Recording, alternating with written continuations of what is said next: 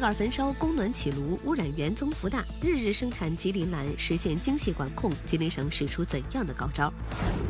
五 G 套餐走进现实，城市实行垃圾分类，打开手机就可以刷医保。二零一九新鲜事儿不少，你的生活因此发生多少改变？电子客票来了，手机身份证就是你的车票，刷手机进站怎么个刷法？改签退票又该如何操作？想顺利出行，有些事儿得知道。儿子去世，老人却多了二十六个子女。小店里吃早饭，饭钱可以随便给。小狗被救，瘸着腿追赶消防车。寒冷的冬日，这些善良是否温暖了你的心田？梳理全天热点，今晚带您寻找答案。如果白天注定用来发声，我们就用夜晚追问结果。欢迎收看吉林卫视新闻杂志节目。今晚我是林爽，今天是二零一九年十二月十号星期二。欢迎您在收看节目的同时，扫描屏幕上的二维码，在今晚栏目的微信平台上与我们保持互动。进入今天的节目。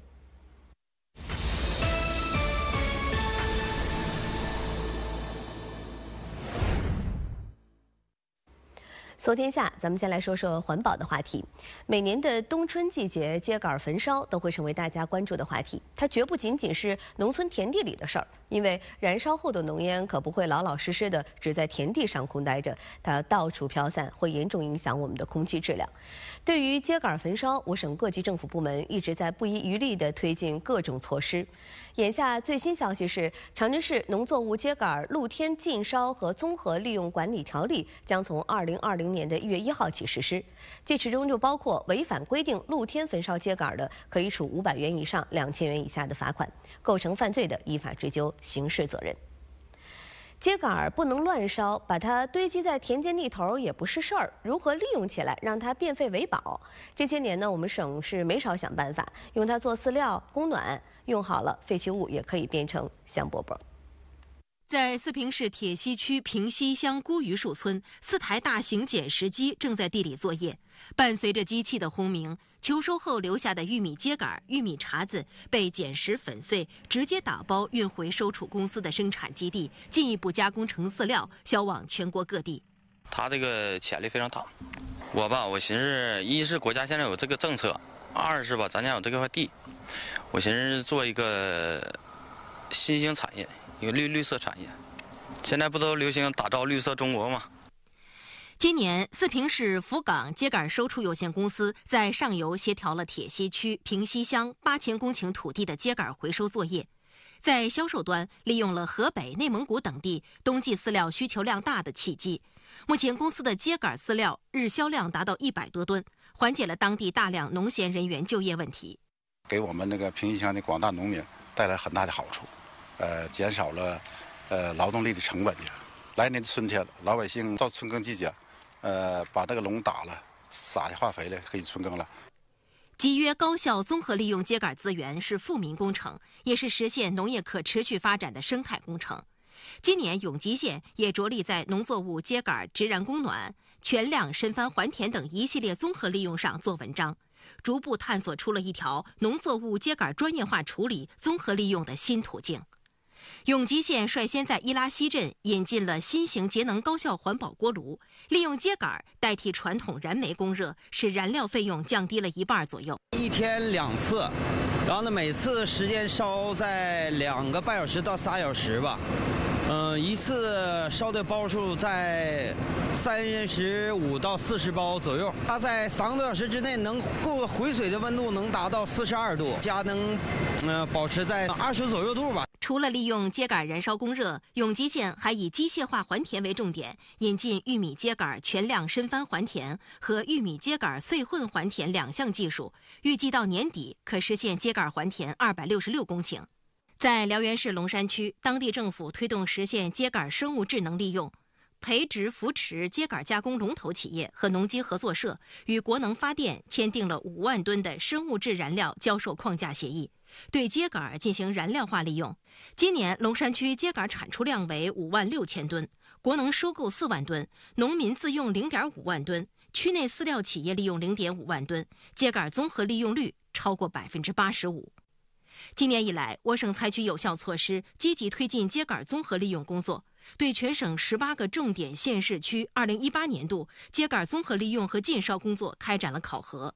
经考核，均完成了年初下达的年度秸秆综合利用目标任务，累计新增秸秆综合利用能力二百二十万吨。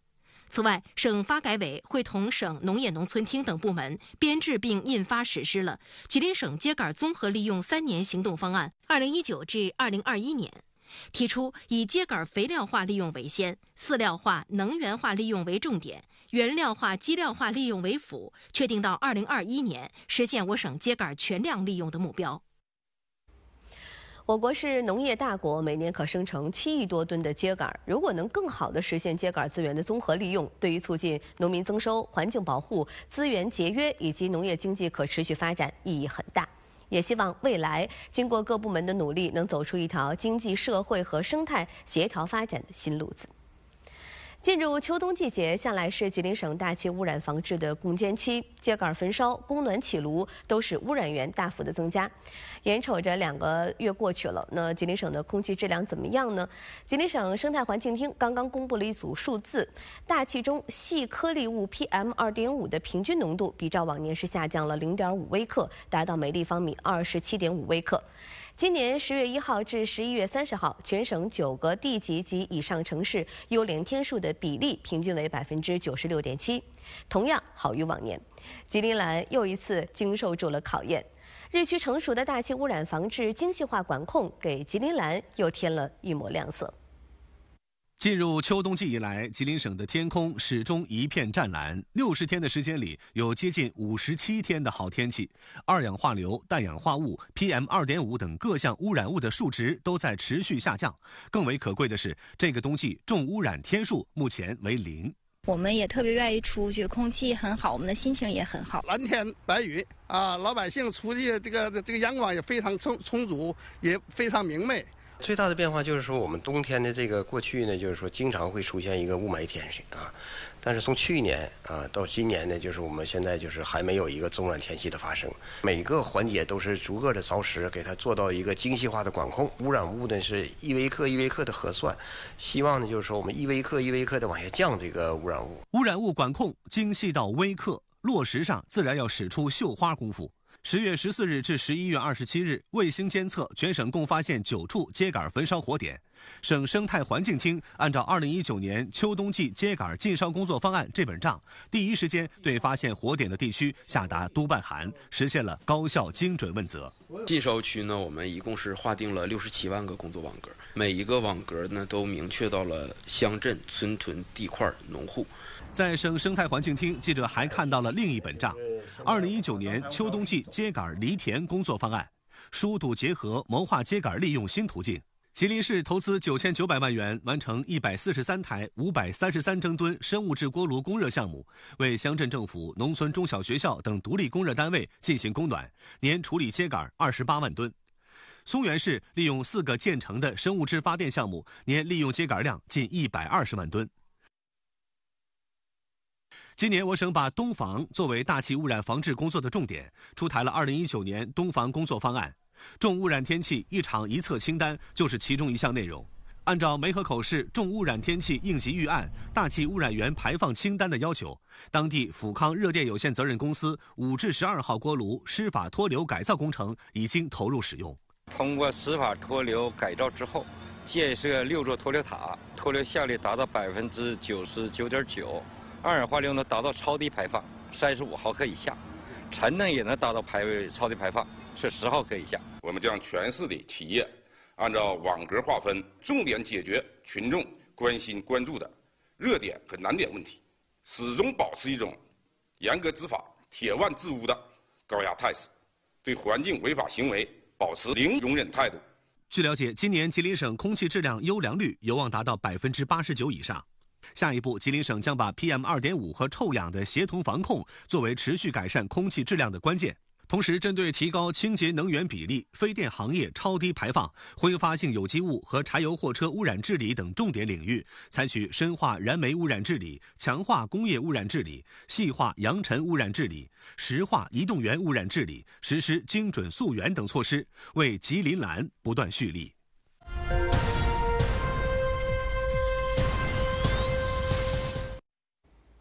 二零一九年即将过去，对于咱们中国的普通民众来讲，这一年生活中出现了不少新鲜事物，比如传说中的五 G 套餐走进现实，小区里用起了分类垃圾桶，打开手机就可以刷医保等等。我们的生活继续在二零一九发生着改变，并且越变越好。如果问二零一九年什么与生活息息相关的话题最热门，那一定少不了五 G 这个关键词。今年六月，工信部发放五 G 商用牌照，宣告中国进入五 G 商用元年。一 G 技术实现移动通话，二 G 技术收发短信，三 G 技术满足图片传输，宽带化的四 G 技术让人即时通信、移动支付等蓬勃兴起。而五 G 有望在多种场景下形成丰富的标志性应用，深刻改变人的生产生活。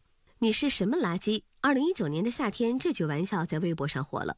伴随着今年七月一号上海市生活垃圾管理条例实施，垃圾分类进入了强制时代。调侃背后是生活方式的改变。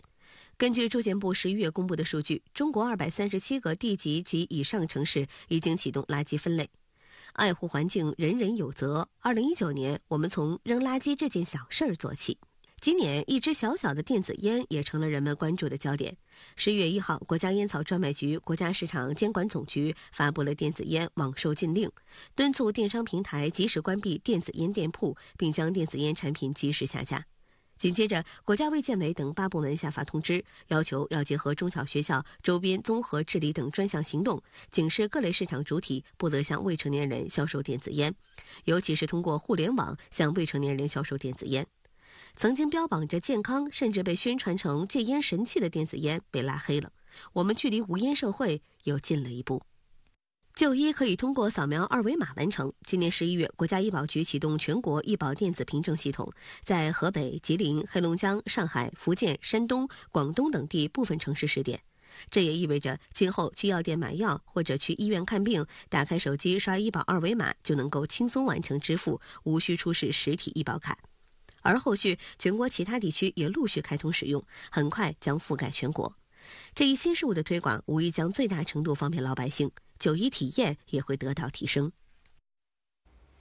盘点了二零一九年这么多改变我们生活的大事件，接下来呢，我们的话题就来了：二零一九年哪些变化令你印象深刻？当然，除了这些大事儿，相信在你的生活当中和你的朋友、家人、同事之间，总会有一些事情让你印象深刻。不妨扫描屏幕左下方的二维码，进入今晚的微信平台，一起来聊一聊。离二零一九年过去还有二十天。别急，好事儿啊还在继续。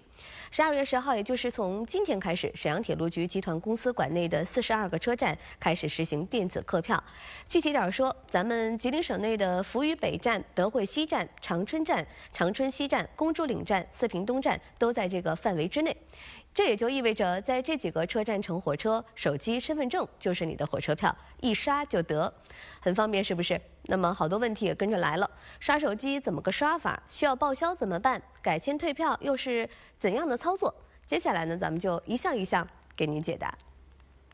进站时，旅客持中华人民共和国居民身份证等可自动识别证件，可凭购票时使用的乘车人有效身份证件原件，通过自助闸机完成实名制验证进出站验票程序。注意，购买减价优惠车票的旅客需要随身携带相关优惠证件，如学生证、残疾军人证，以便查验。熟悉互联网购票的旅客，可在幺二三零六账户订单内查询，或查看手机短信、微信或邮件等，都可以掌握电子客票的车次、席位、乘车时间、检票口等信息。旅客通过网上购票的，购票成功后，可通过网站自行打印或下载购票信息单，也可在实施电子客票的车站售票窗口自动售票机打印。旅客如需报销凭证，可于开车前或乘车日期之日起三十日内，凭购票时所使用的有效身份证件原件，到实施电子客票的车站售票窗口或自动售取票机换取报销凭证。超过三十日时，通过铁路幺二三零六客服办理。报销凭证不能作为乘车凭证使用。如因行程变更需要退票改签的旅客，使用非现金支付且未打印报销凭证的，在幺二三零六网站 APP 手机客户端以及车站窗口均可办理电子客票退票改签等变更。其余情况仍需到车站窗口办理。已打印报销凭证的铁路电子客票办理退票改签手续时，还应交回报销凭证。儿童旅客的购票方式没有变化，在检票乘车时，持儿童票的旅客需凭购票时使用的本人或同行成年人有效身份证件原件，通过人工通道完成实名制验证，进出站检票手续。铁路部门在各进站口设有针对老人、儿童旅客的优先通道，服务绝对贴心，带娃出行不用愁。这样的解答够详细吗？这些您都了解透了，出门乘车才能畅通无阻。不得不感慨，移动互联网的高速发展，让我们的生活真的是越来越便利了。在头十年，尤其是春运期间，熙熙攘攘的售票大厅里，常常会出现打地铺通宵排队买票的场景。而今天，售票大厅却显得格外冷清。估计等那些一零后们到了自己买车票的年纪，可能排队买票几乎就见不到了。当然，他们也可能更不会知道纸质车票是什么样的。随着电子客票在全国推广，也就意味着纸质火车票在渐渐的消逝。你还记得那些曾留给你美好回忆的火车票吗？来，我们带您共同回忆。第一代纸板火车票，从上世纪四十年代开始使用，一直到上世纪九十年代结束。堪称爷爷辈儿。一九九七年，软纸票代替纸板票在全国推广，恰逢我国大力推进城镇化进程，许多青年背起行囊，踏上离乡的火车，在异乡拼搏奋斗。而春运买票难、乘车难的问题，让回家路变得更加辛苦。乡愁就是一张火车票，夹在售票窗口那头，人。却在望不到尽头的队伍这头，但是通宵达旦的排队、摩肩接踵的车厢，都不能阻挡游子们的归乡之情。二零零七年四月十八日，动车组全面上线，投入运营，磁卡式火车票陆续发售。售票窗口前的队伍越来越短，从订票电话、代售点到电脑、手机上的购票网站和软件，购票变得便捷。小小的一张火车票，方寸之间，见证了时代的变迁，承载了共同的回忆。连接的不仅仅是两头的目的地，在历史和岁月的积淀中，更是连接了时间与空间，拉近了人与人之间的距离。小小车票，方寸之间，是不是也有你的故事？只不过对于一零后们来说会很陌生，而让他们惊讶和陌生的，可能还远远不止这些。一零后可能永远也碰不上半夜突然没电、找不开零钱的窘状，他们以后出门可能连手机都不用带了，刷个脸、说句话就能支付和办各种事儿。而对于我们这些七零后、八零后来说，这样的代沟又何尝不是这个时代神奇而又美好的一部分呢？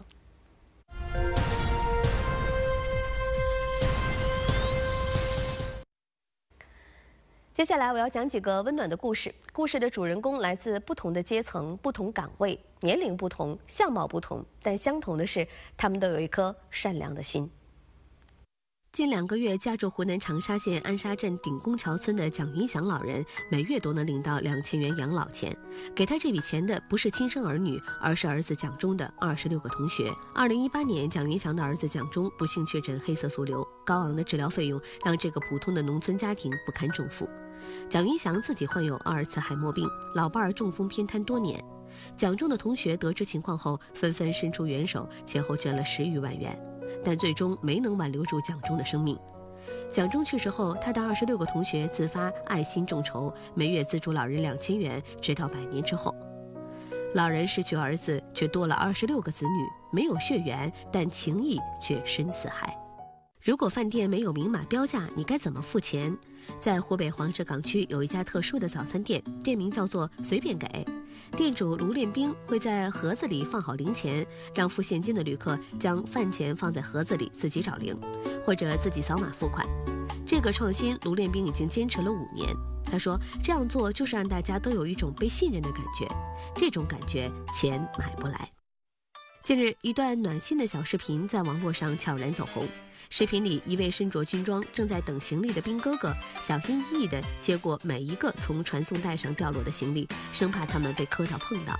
这个看似不经意的举动，却在寒冷的冬日里温暖了很多人的心。近日，无锡消防员救助了一只被捕兽夹夹住的小白狗。当消防员乘车离开时，让人感动的一幕出现了：躺在地上的小白狗竟然起身一瘸一拐地追着消防车跑，久久不愿离去，又可爱又暖心。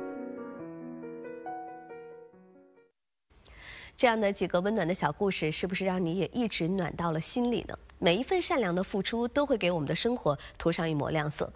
对于善良，法国思想家卢梭有过这样的论述：善良的行为有一种好处，就是使人的灵魂变得高尚了，并且使他可以做出更美好的行为。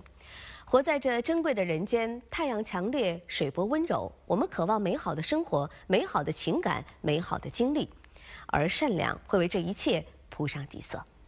好，接下来更多资讯，三百六十度秒读天下。由一汽东风、长安三家车企联合苏宁、腾讯、阿里巴巴等共同打造的智慧出行平台 T 三出行近日登陆长春，为当地网约车注入新力量。T 三出行是基于车联网自主研发的安全防护系统，在业内率先实现人车路的全数据监控与分析，为消费者提供安全、便捷、舒适的出行服务。此次 T 三出行进入长春，首批上线五百台运营车辆，上线的所有运营车辆皆为一汽集团旗下高端 B 级轿车品牌红旗 H 五。近日，在吉林东北虎豹国家公园，监测系统拍摄到国家二级重点保护动物章的视频，章被列入世界自然保护联盟濒危物种红色名录易危级别，这是该区域首次记录到章，也是我国迄今该物种的最北记录点。北京冬奥组委发布消息，赛会志愿者全球招募自五号正式启动以来，截至昨天晚上六点，报名人数已经达到四十六点三万。北京冬奥会赛会志愿者计划招募二点七万人，冬残奥会一点二万人。中国人民解放军驻吉布提保障基地和吉布提卫生部近日合作开展了“光明行动”专项医疗服务活动。当地时间八号，医疗组会同吉布提内尔蒂医院为患者进行术前医疗评估后，成功对十名白内障患者进行了手术。北京时间昨天晚上，世界反兴奋剂机构执行委员会在瑞士洛桑举行会议，投票通过了多项对俄罗斯的制裁决定。俄罗斯被认定篡改、删除兴奋剂检测数据，处罚期四年，将被禁止参加包括奥运会及世锦赛等大型赛事。这也就意味着，在明年的东京奥运会和2022年北京冬奥会的赛场上，俄罗斯运动员将不得代表国家参赛。这也是世界反兴奋剂历史上开出的最重罚单。美国当地时间九号上午，美国众议院司法委员会就弹劾美国总统特朗普举行听证，听取民主党和共和党律师提交的证据和证词。众议院司法委员会主席纳德勒当庭表示，有大量证据表明特朗普存在不当行为。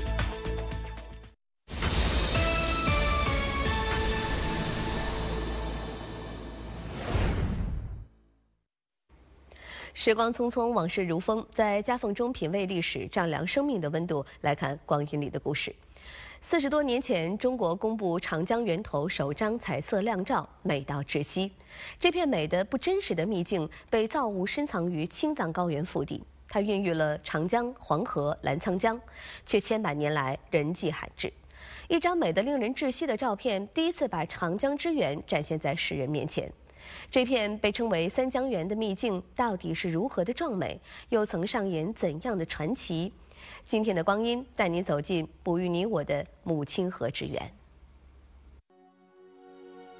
位于青藏高原腹地的这片人间秘境，不仅是长江的发源地，还孕育了黄河、澜沧江，被称为三江源。四十万平方公里的土地，也是当地人繁衍生息的家乡。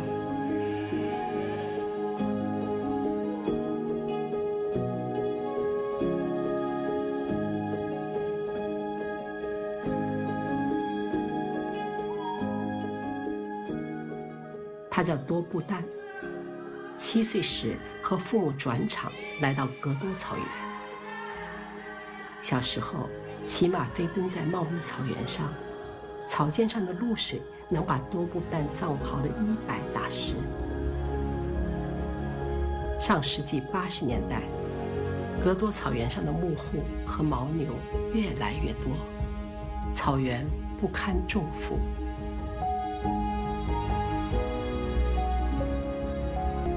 格多草原的变化只是一个缩影，在人类活动、气候变化等多重因素的夹击之下，三江源病了。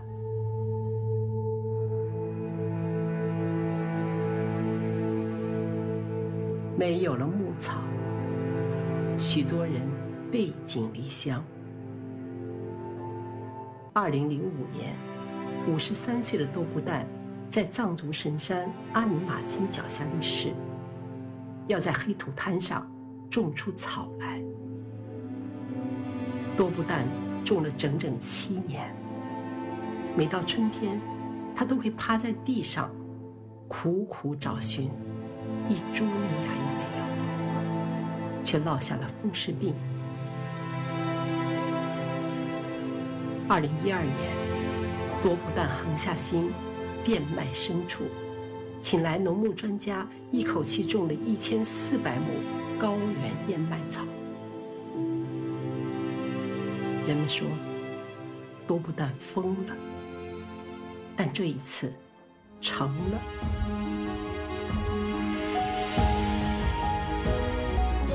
沱沱河，长江源头。听着滔滔水声长大的孩子，用稚嫩的手捡拾垃圾，守护着这条美丽亲爱的河。三江源的美景渐渐重现。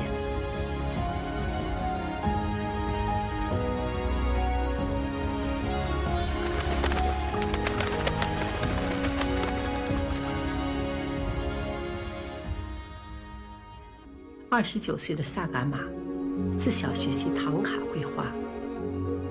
二零一零年的一次外出采风，让他惊叹：真实的家乡远比画中精彩。从那时起，萨嘎玛爬遍家乡八百多座高山，最高的一座，足足爬了三天。九年间。萨嘎玛一次次从山巅俯瞰大地，山间的夜很冷，但他舍不得住帐篷，而是躺在露天睡袋里，看星星，听动物的叫声，仿佛睡在自然的怀抱里。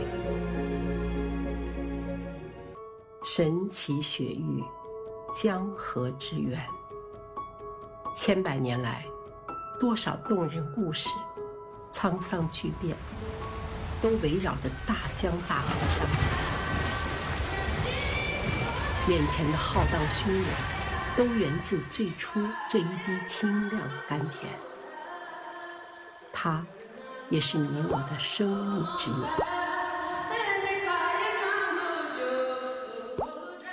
如果白天注定用来发生，我们就用夜晚追问结果。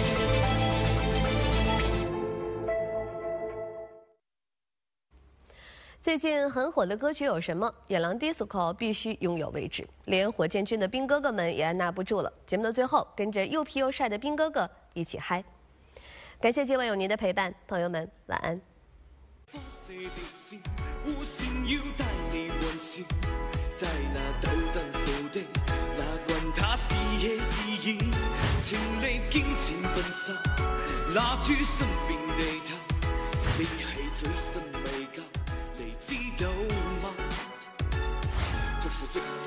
这是最火的时代，前面哪里来的大白烟？我放毒往里卖，如此顶上的金牌就要看点状态。我冲锋的动线上面怎么能有障碍？放毒速度最讲机，战场上的零零七，最新一代导弹兵。你别瞅我不着急，不管多累都不能忘记我要争第一。全场动作必须跟我整齐划一，来左边跟我一起画个龙，在你右边画一道彩虹，走起来左边跟我一起画彩虹，在你右边再画个龙，别停在你胸口上比划一个加。把油，左边右边都上手，两只眼睛就像两个窜天猴，望向闪耀的光轴。